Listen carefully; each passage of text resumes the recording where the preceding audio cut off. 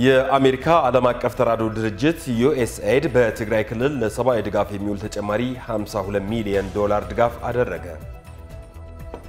በቤኒሻንጉል ጉሙዝ ክልል የተከሰተውን የጸጥታ ችግር ተከትሎ የፌዴራል ፖሊስ ኮሚሽን ከጠቅላይ አቃቢ ሕግ ጋር በመቀናጀት ባከናወናቸው ተግባራት 1953 ተጠርጣሪዎችን በቁጥጥር ስር መዋሉን የፌዴራል ፖሊስ ኮሚሽን አስታወቀ። የታንዛኒያ ምክትል ፕሬዝዳንት ሳሚያ ሱሉሁ ሐሰን የሀገሪቱ ስድስተኛ ፕሬዝዳንት ሆነው ዛሬ ቃለ መሐላ ፈጽመዋል።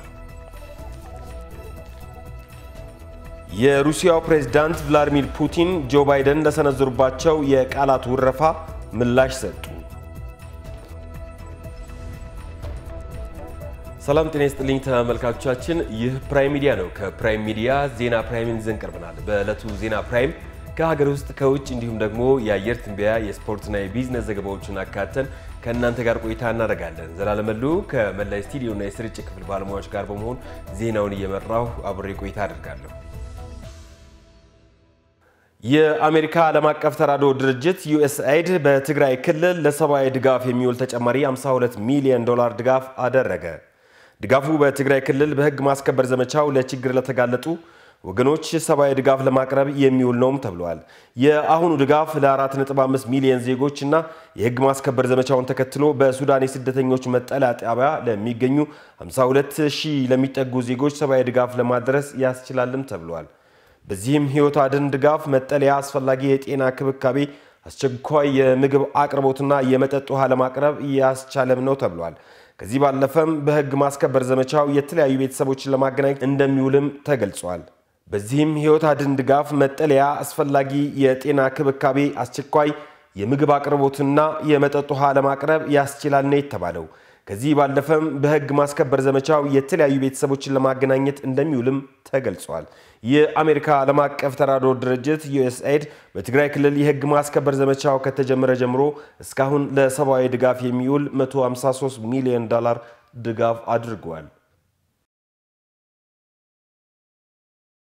በኢትዮጵያ ለሰብአዊ ድጋፍ ምላሽ ለመስጠት በተቻለ ሁኔታ ድጋፍ ለማሰባሰብ ትኩረት መስጠት እንደሚገባ ተጠቆመ። በተባበሩ መንግስታት ድርጅት የኢትዮጵያ ቋሚ ተጠሪ አምባሳደር ታዬ አጽቀ ሥላሴ ከተባበሩ መንግስታት ድርጅት የአስቸኳይ ጊዜ እርዳታ አስተባባሪ ማርክ ሎኩክ ጋር ተወያይተዋል። በዚህ ወቅትም በትግራይ ክልል የሰብአዊ ድጋፍ ለማቅረብ እየሰሩ ያሉ ስራዎችን፣ የተገኙ ውጤቶችን እንደተገመገመ አምባሳደር ታዬ በትዊተር ገጻቸው ላይ አስፍረዋል። በኢትዮጵያ ለሰብአዊ ድጋፍ ምላሽ ለመስጠት በተቻለ ሁኔታ ድጋፍ ማሰባሰብ እንደሚገባም በውይይቱ ወቅቱ አጽንኦት መሰጠቱም አስታውቀዋል።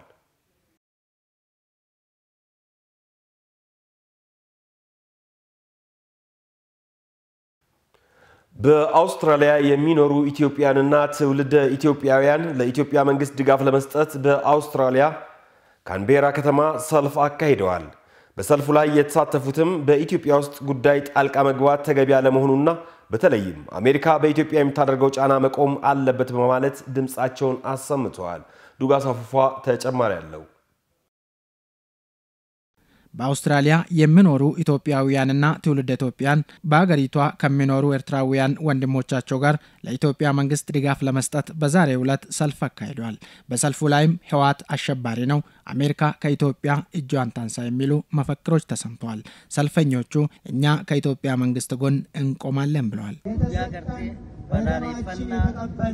ወረ ሞቱማ ቴኛ ሞቱማ ኢትዮጵያ በላላይፈቱ በላላይፈቱ ይሄ አሞ አከሱመት ገርቴ ቶላ ወራኔ ከኛ ራያን ኢትሰ ብያ uummata tuutaa namaaf naarisoon qabne san irratti fudhate san deeggarsa mootummaa teenyaa ይህ ሰልፍ በመንግስታችን በኢትዮጵያ መንግስት ላይ የሚነሱትን ለመቃወም የተጠራ ነው።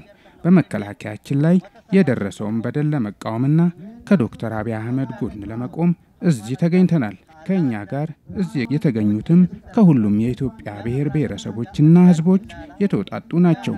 ይህ ቀን ለእኛ ልዩ ነው። ከኢትዮጵያ መንግስት ጋር የሚቆሙ ወንድሞችን ሳይ ታላቅ ደስታ ይሰማኛል። mootummaa keenya tana bira mootummaa badhaadhinaa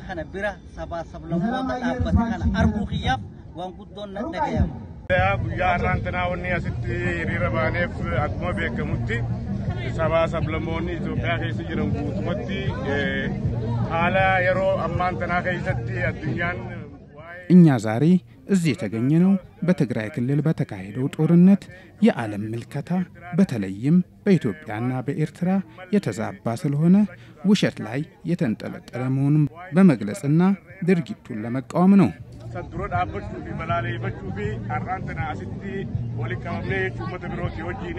የሰልፉ ተሳታፊዎች የአውስትራሊያ ፓርላማ ጉዳዩን እንዲገነዘብና በትኩረት እንዲያይ መልእክታቸውን በጽሑፍ አስገብተዋል።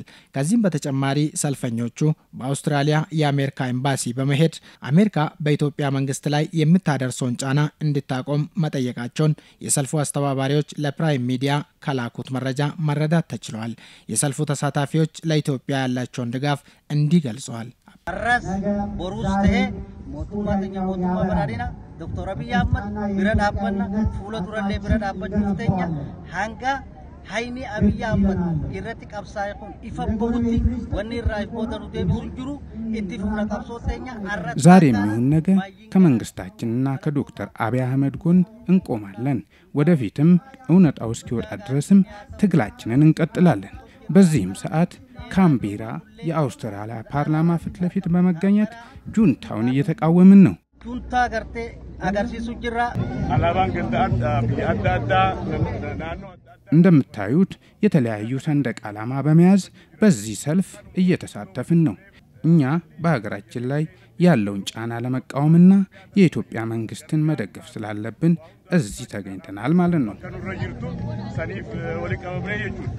በአጠቃላይ ሰልፉ በሰላምና ጠንካራ መልእክትን በማስተላለፍ መጠናቀቁን ከአውስትራሊያ ካምቤራ ለፕራይም ሚዲያ የተላከው መረጃ ያሳያል። በቤኒሻንጉል ጉሙዝ ክልል የተከሰተውን የጸጥታ ችግር ተከትሎ የፌዴራል ፖሊስ ኮሚሽን ከጠቅላይ አቃቢ ሕግ ጋር በመቀናጀት ባከናወናቸው ተግባራት 1953 ተጠርጣሪዎች በቁጥጥር ስር መዋሉን የፌዴራል ፖሊስ ኮሚሽን አስታወቀ። ይህንኑ ተከትሎ 18 መዝገቦችን ማደራጀቱንና 1062 ሰዎች ላይ ክስ መመስረቱን ኮሚሽኑ ገልጿል። በተጨማሪም 900 ዘመናዊ የጦር መሳሪያና ከ1000 በላይ ባህላዊ የጦር መሳሪያ መያዙን የፌዴራል ፖሊስ ኮሚሽን ምክትል ኮሚሽነር ጄኔራል ዘላለም መንግስቴ ጠቅሰዋል። በተመሳሳይ በሰሜኑ የሀገሪቱ ክፍል የጁንታውን ሀገር የማፍረስ ተልዕኮ በማክሸፍ ከ270 በላይ ተጠርጣሪዎች በቁጥጥር ስር አውሎ የምርመራ መዝገባቸውን በማጠናቀቅ ወደ ማረሚያ እንዲወርዱ መደረጉም ተገልጿል። በማይካድራ ከተማ በተፈጸመው ጭፍጨፋ ጋር ተያይዞም 130 የሚደርሱ ተጠርጣሪዎች በቁጥጥር ስር ውለው ማስረጃ የተገኘባቸውን በመለየት ለሕግ የማቅረብ ሥራ መሰራቱን ኃላፊው ጠቅሰዋል።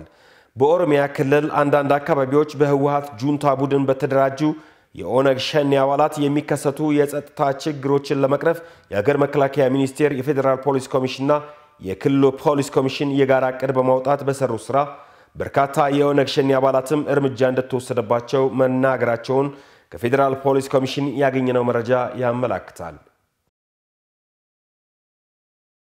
አሁን ደግሞ ወደ ቢዝነስ ዜናዎች የሚያሸጋግርን መረጃዎች እናድርሳችሁ። መንግስት ለበላይነህ ክንዴና ለሸሙ የዘይት ፋብሪካዎች 44 ሚሊዮን ዶላር ብድር ሊያቀርብ ነው። በንግድ ሚኒስትር መላኩ አለበል የተመራ የልዑካን ቡድን በድሬዳዋ ኢንዱስትሪ ፓርክ የሚገኘውን ሸሙ ግሩፕን ጎብኝቷል። የተለያዩ የቤት ውስጥ ንጽህና መጠበቂያ ላርጎዎችን ጨምሮ በቀን እስከ 950 ቶን ዘይት የማምረት አቅም ያለው ፋብሪካውን በሀገር ውስጥ ምርቱን በማከፋፈል እንደሚገኝም ነው የተገለጸው። ፋብሪካው መሰረታዊ በሆኑ ምርቶች ላይ መሰማራቱ የሚበረታታ ነው ያሉት ሚኒስትሩ አቶ መላኩ አለበል በጉብኝቱ ወቅት የተመለከቷቸው ክፍተቶች እንዲታረሙ አቅጣጫም ሰጥተዋል። ፋብሪካው በበኩሉ ምርቶቹ በሚገባቸው ፍጥነት አለመነሳታቸውን ካጋጠሙት ተግዳሮቶች ዋነኛው እንደሆነ ለሚኒስትሩም አብራርቶላቸዋል። የተጠቀሱትን ችግሮች የተፈጠሩት ፋብሪካዎቹ ባጋጠማቸው የመስሪያ ካፒታል እጥረት ነው ያሉት ሚኒስትሩ የተጠቀሱትን ችግሮች ለመፍታት መንግስት የ44 ሚሊዮን ዶላር ድጋፍ ለበላይነህ ክንዴና ለሸሙ የዘይት ፋብሪካዎች ድጋፍ ለማድረግ መወሰኑን ተናግሯል። ኤፍቢሲ እንደዘገበው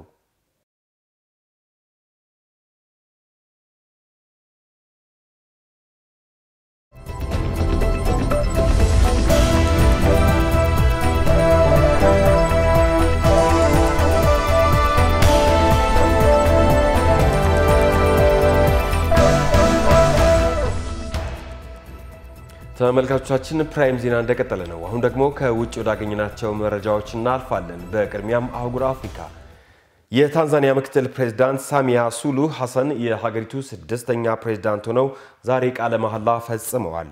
የቃለ መሐላ ስነ ስርዓቱ ዛሬ ዳሬ ሰላም በሚገኘው ቤተ መንግስት መከናወኑን የመንግስት ቃል አቀባይ ተናግረዋል። በዚህም ሳሚያ ሱሉሁ በታንዛኒያ የመጀመሪያዋ ሴት ፕሬዝዳንት ሆነዋል።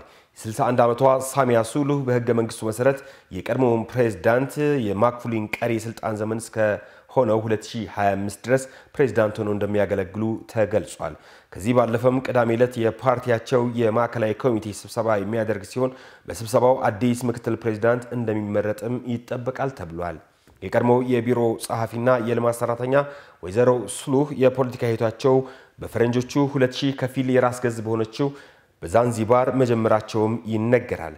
ሳሚያ ሱሉሁ ወደ ስልጣን የመጡት ታንዛኒያን ሲያስተዳድሩ የቆዩት ጆን ማክፉሊ በልብ ህመም ሳቢያ ከዚህ ዓለም በሞት መለየታቸው መገለጹን ተከትሎ ነው።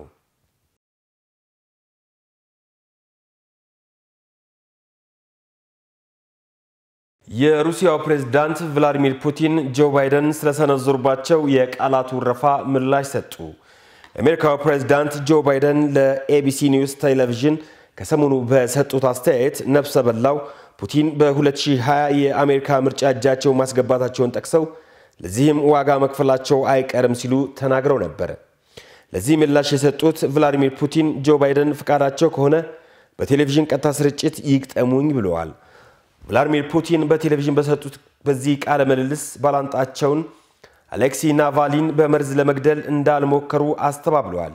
የአሜሪካ የስለላ መስሪያ ቤት ከሰሞኑ ባወጣው ሪፖርት ሩሲያ ባለፈው ህዳር የተካሄደውን የአሜሪካ ምርጫ የሪፐብሊካኑ ዶናልድ ትራምፕ እንዲያሸንፉ ሞክራለች ሲሉ አትተዋል። ባይደን በፑቲን ላይ አስተያየት የሰነዘሩት ከዚሁ ሪፖርት ይፋ መሆን በኋላ ነው። ሩሲያ ይህ የጆ ባይደን ንግግር ተከትሎ አምባሳደሯን ወደ አገር ቤት መጥራቷም ይታወሳል። ዘገባው የቢቢሲ ነው።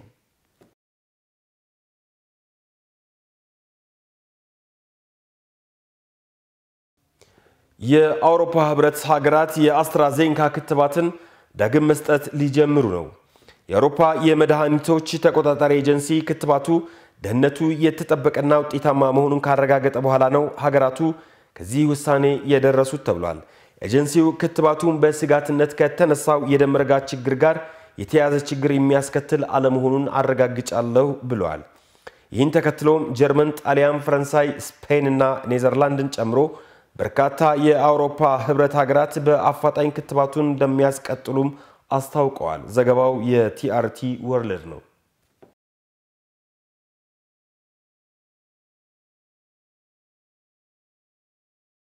ሰሜን ኮሪያ ከማሌዥያ ጋር ያላትን ዲፕሎማሲያዊ ግንኙነት ልታቋርጥ ነው።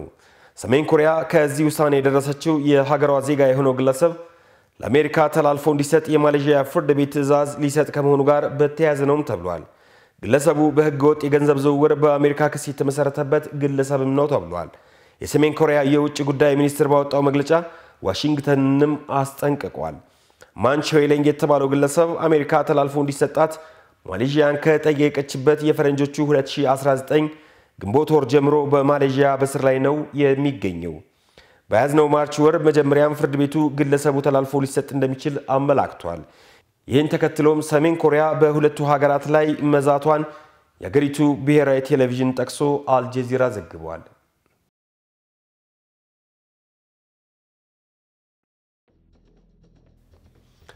ክቡራትና ክቡራን ተመልካቾቻችን ከፕራይም ሚዲያ ወደ እናንተ እየደረሰ የነበረው ዜና ፕራይማችን ይህን ይመስላሉ። አብራችሁን ስለነበራችሁ እጅግ እናመሰግናለን። ከቀሪ የፕራይም ሚዲያ ዝግጅቶች ጋር መልካም ቆይታ። ዘላለም መሉ ዜናውን እየመራሁ ከመላ የስቱዲዮና የስርጭት ክፍል ባለሙያዎች ጋር በመሆን አብሬ ቆይታ አረኩኝ። ጤና ይስጥልኝ።